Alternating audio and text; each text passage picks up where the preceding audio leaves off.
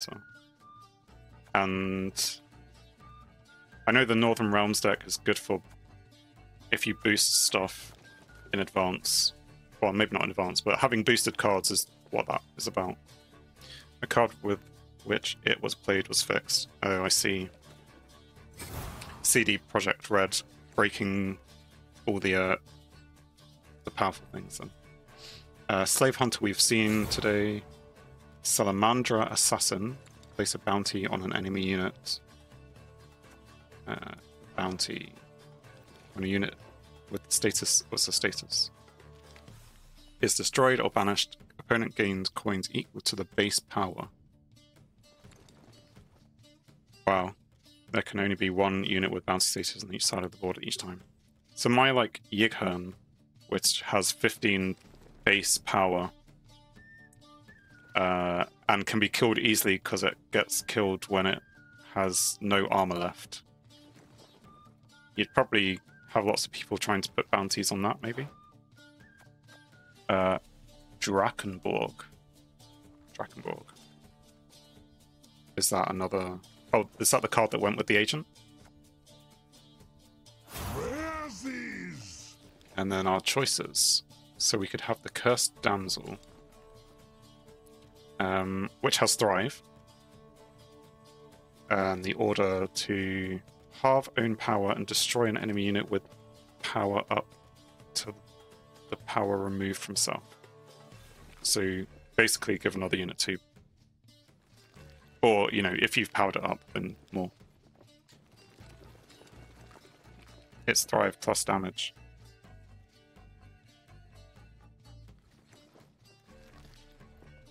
Damsel is better, I believe. So, I mean, yeah, as well, if I'm going for a Thrive deck, it could be very useful to have. Oh yeah, and you, so its own power, when you use the order, you would have thrived it up maybe a bit more. So it's not just going to be four down to two, it'll be, you know, maybe like seven down to three and a half. I assume it'll round in some way.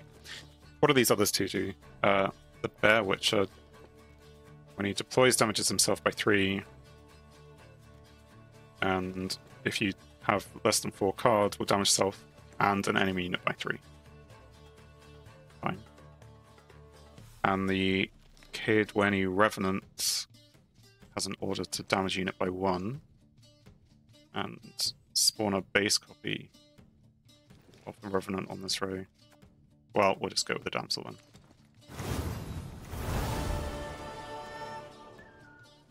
So we'll probably try and put her in the deck. Let's go with the monster first. Feast of Blood.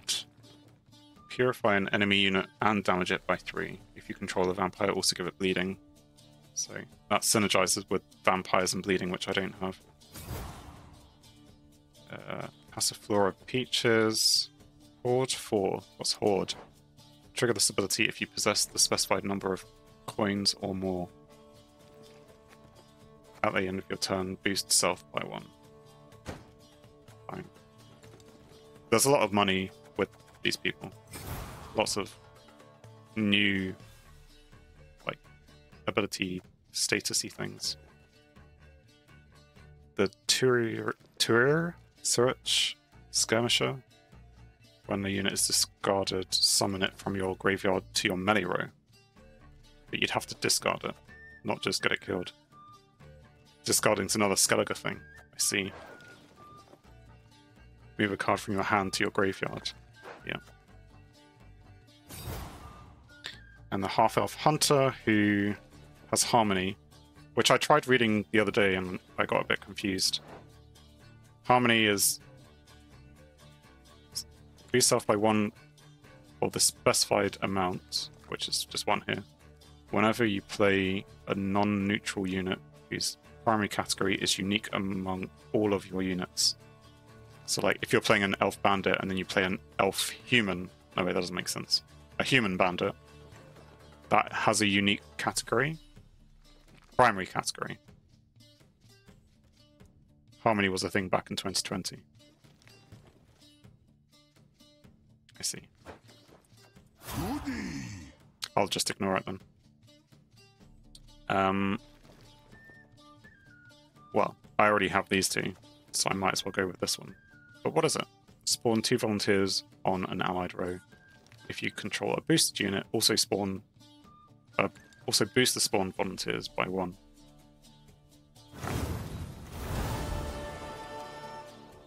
I mean, presumably you would have a boosted unit.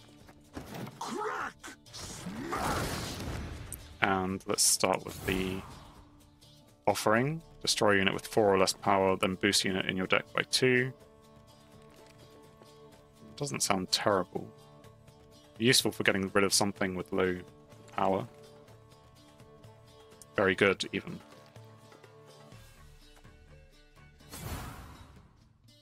Inspirational Ballad. Give an allied unit vitality. And quite a bit of vitality. Lyrian Scytheman.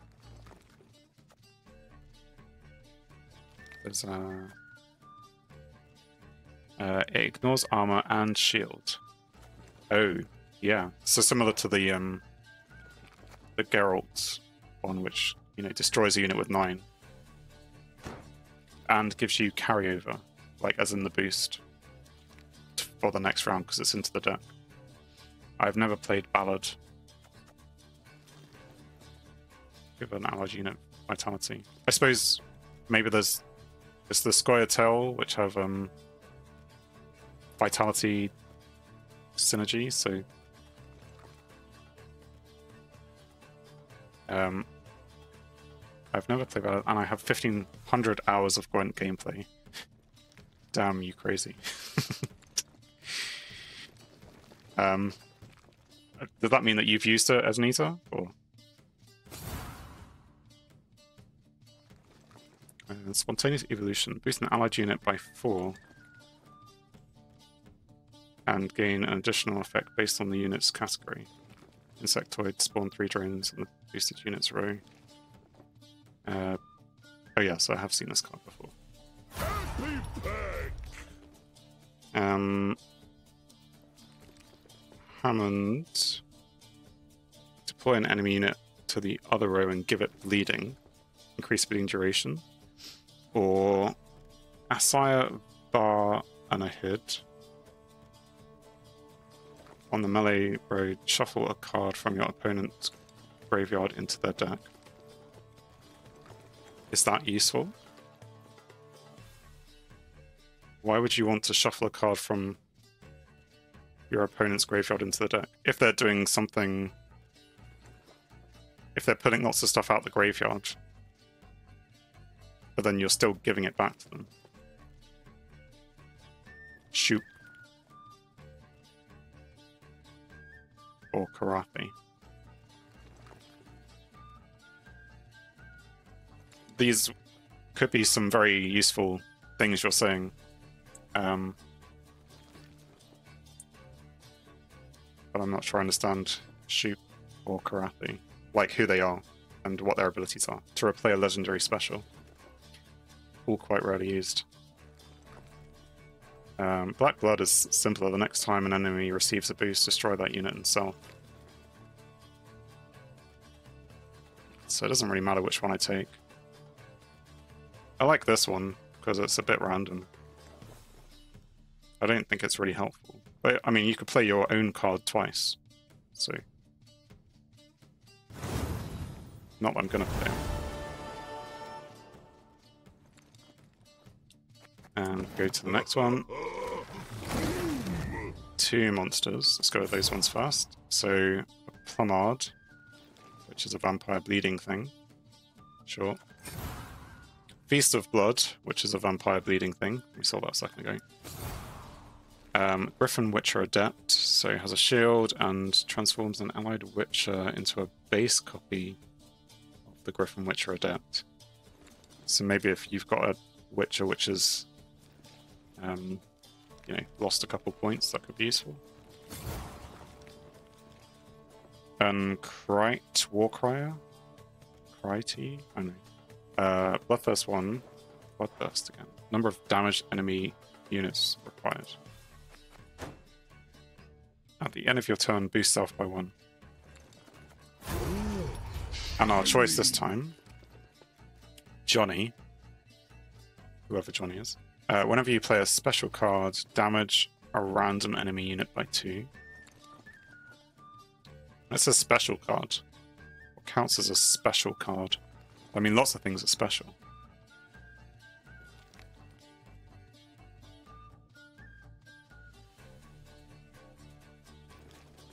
Etriol is an elf bandit who, when you deploy, damages an enemy unit by 3, and if you control someone else, then you can damage it by 7 instead. Who is the someone else? A beast. A beast. And if you deploy it in the other order, then you get to damage adjacent units by 3. So you definitely want both of those in your hand at the same time to choose which way around. Or you can have Hey May Flaminica. Then you turn heal all other units on this row by one. Wow. I like him. I like uh, her. Although it's heal, so that doesn't, that won't uh, go over the base power, presumably. Yeah, if it's lower than base power. Restore it either to base power or by the specified amount. Anyway, um, I suppose I need one of those to have two of those.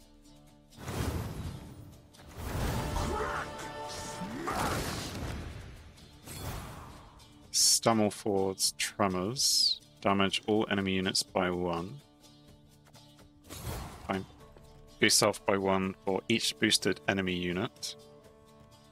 Which could be good against Northern Realms, maybe? Uh, Dryad Ranger which is the harmony thing I think I saw last week. Um, either damages or poisons the unit. Straightforward. Treasure Huntress, which is has profit and can hoard Orphe. Trigger this ability if you possess the specified number of coins, yes. But you could also pay for it. So if you have nine coins, you could infuse an allied unit with this. And you could also then pay three times. So you could have it like four times if you had nine coins. And then by the end, three turns later, you'd end up with more coins than you started with. Maybe. And our epic pick. Um, Lake Guardian. This unit's harmony is also triggered in hand and deck. Uh, if you have nine coins, fee can be used. Yeah, I meant the. But when you play it, you would have Hoard, so the Hoard would activate immediately. No. Golem. That's tribute. Well, we'll come back to the Hoard thing in a second. Um, we'll pick this, then I'll just confirm that you're correct. Because you're definitely going to be correct in comparison to me. But um, what does the Golem do? He, when you deploy him, reveals the top unit from your opponent's deck and and damage self by its power, then shuffle it back. And um, is that good? Because if the thing on top is like one, then sure, you end up with an 11 strength. But if it's like a six, then you've only got a five strength card. Uh, Lake Guardian played in Harmony decks. I'm not really a thing. I mean, I already have one of these guys, who's good if you have lots of Fire Sworn tokens. Um, I guess yeah, I'm not sure I fully understand this. The bird is good. Let's go with the bird. And then let's go read this again. Trigger this ability if you possess the specified number of coins or more. So that's what I was saying, is that if you have nine coins and you play the card, it triggers this ability. Although that's playing it, it's not a deploy thing, but it's just it just does it anyway. No? fee is unlocked if you have nine coins. But it, it so it's not both. because you can't like this says trigger this ability if you possess the specified number of coins. You can't have nine coins without having three coins. Like you're always going to have three coins if you have nine coins. Oh, if you have nine coins, then you can use fee. That's that is. It should have like a colon here then. But okay, I see, I see what you mean though. I liked my thing better, but but yeah, okay, I understand now. So you need to have enough coins. You can't just keep using this because that's maybe too powerful. But in three turns, that will pay itself back. Anyway, next Kirk. And we have Dimeritum. Dimeritium. Something made up uh, shackles. Lock a unit and damage it by three. It's not too bad. Um, Dryad Enchantress, who has Symbiosis. Whenever you play a nature card, of which this isn't one, spawn a Wandering Treant on a random allied row and set its power equal to the number of symbioses you control. More confusing things. Spotter. Look at the top three units in your opponent's deck, then choose one and gain armor equal to its power. I mean, then you could end up with a lot of armor. And then you have the order to lose all your armor and look at the top units of your deck up to that amount, then choose one and gain vitality equal to its power. If it's a bronze soldier, boost self by its power instead. Like, again, seems like there's lots of things that could synergize well with. Um, payroll specialist, move a unit to the other row. Sure. Oh, tribute one, so you need to on deploy you may choose to spend the specified amount coins. So it's like fee, but only on deploy. And in typical fashion, having spent some scraps, we we find a griffin.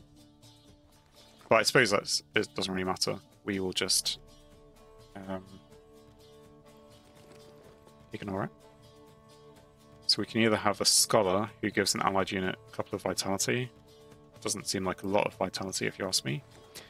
Or we can shuffle an allied bronze mage back into your deck, then play a random bronze mage from your deck and boost it by zero. Increase the boost by one for each unit with patience you play this game. Scholar is just bad. I mean, it sounds complicated mathematically. Oh, sorry, this one. Yeah, the Scholar. It, it's like a low unit and gives something else to vitality. I mean, if you have a vitality deck, then maybe it becomes useful. But then there's probably other better cards which have the vitality. I'm gonna go with the um the Apple Girls.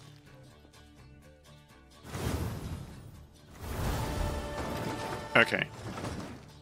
Was there well, we're out of we're out of ore for the uh the thing just now.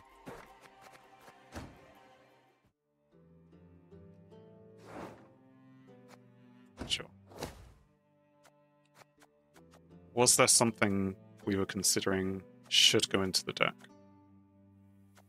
Um,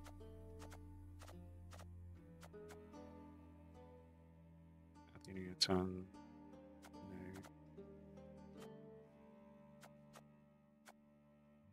You have 26 cards in deck. Yeah. Because we added something.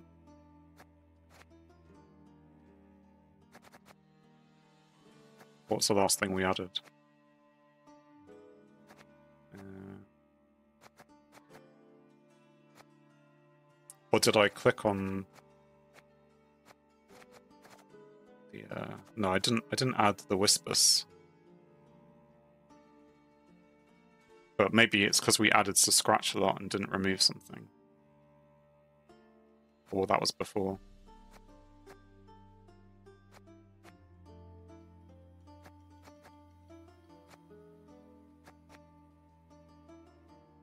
Or the ghoul? I thought we removed a ghoul.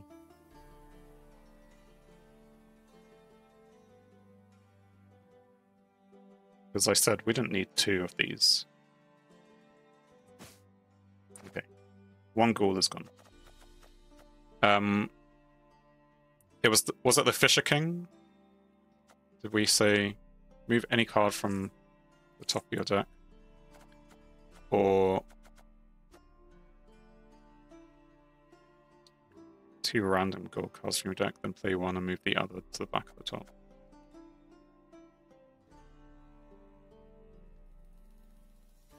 I don't know. Maybe I don't need this.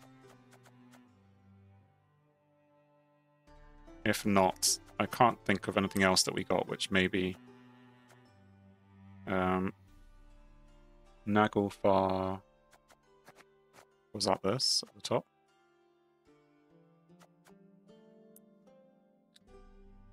So this would fit. And you'd have this one and not the Fisher King, because the Fisher King adds power, whereas that doesn't. But that allows you to pick. Because this is two random gold cards, whereas this is like any card. Why would you. Why would you limit yourself to random gold cards when you could just choose any card? Naglfar plays your card. Oh.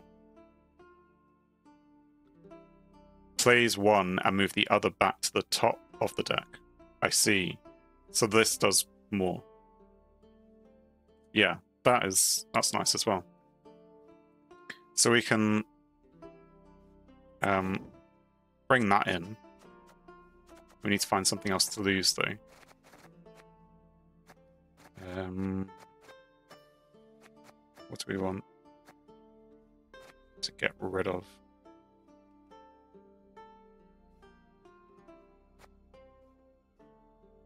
You said you didn't like the Taskmaster, but it's it's there for like defense purposes, so I don't know. Wild Hunt Boy or one Drowner. Yeah, I mean I've got a lot of Thrive things already. I like this guy because he does damage. I don't have a lot of things that just do damage. So let's get rid of a drown. Done.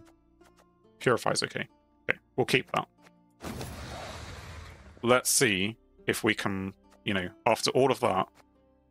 Oh, also you got a damsel. Yeah, that was it. There was something. Yeah. See, I knew. I knew. You know.